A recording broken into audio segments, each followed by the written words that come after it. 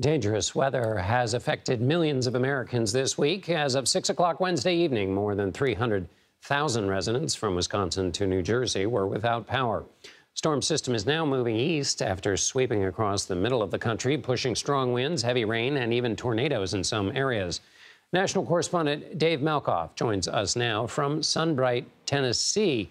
Dave, we know that tornado warnings saved lives. Any idea how much of a heads up the neighborhood received uh, before the tornado touched down. Well, good evening, John. This morning I called the National Weather Service here and we went through an exercise. We, I asked them, when did you actually put out the warning for this area? And what was the time period between the warning and hmm. seeing all this debris on the radar? When it's spinning around, you can actually see that. John, it was 15 to 20 minutes that is a lot longer than the national average, which is around 12 minutes or so. So people got a really good heads up when it came to this. And I actually have an amazing survival story because of that. There is a family who lives in this house right here, and they heard that warning so they grabbed their two kids. They came outside of the house, John, with their kids in their arms. They knew that if they got over here, the Hambys could walk up to this house where the dogs are barking right now and get underneath that porch. But this tornado debris started swirling around them.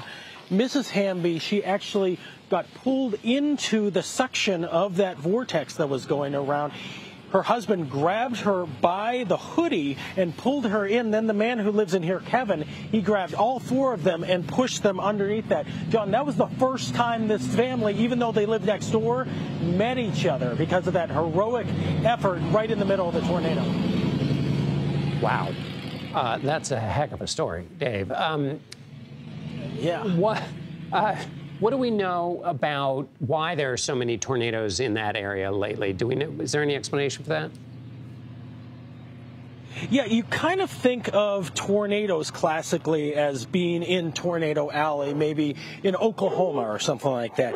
But there is um, a shift that's happening where tornadoes days, the days that are more favorable for tornadoes, are shifting east you can see that that's actually happening. It is right here, and that is in line with the climate change models. But we cannot say that all of this was caused because of climate change. John, that is an active study situation for the scientists who are studying this, trying to connect these two things. That's something that they're still trying to do right now, but it is in line with the models of what we think would happen if we have a warmer environment all over the planet. Dave Malkoff in Sunbright, Tennessee, with the reporting and the stories. Thanks a lot, Dave.